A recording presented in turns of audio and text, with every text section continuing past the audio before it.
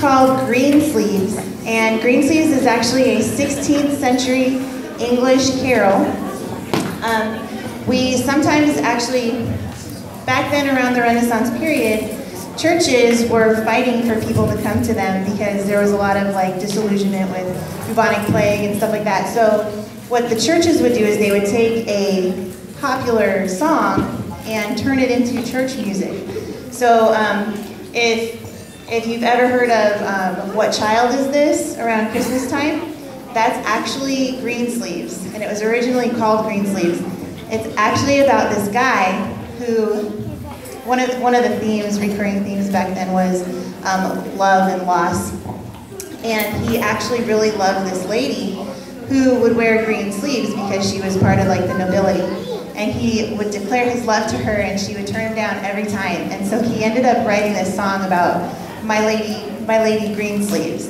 And it's kind of a sad, kind of unrequited love song, but it was very, very popular for the time, and it's actually still played today, which kind of says a lot for its musical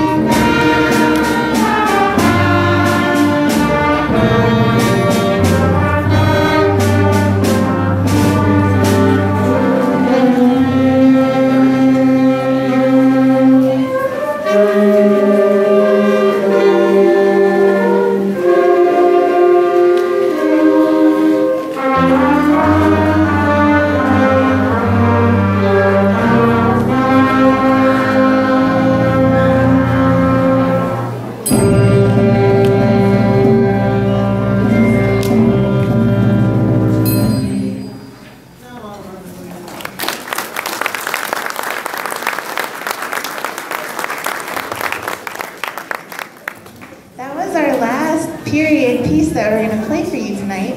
So um, just kind of, it's kind of like a sneak peek of what you'll taste uh, during our spring concerts. We have a lot more um, fun stuff in store for you guys if you want to take a, take a gander. It's going to be May 19th and 20th. The 19th is the beginning band, and then this band will be playing on May 20th at 7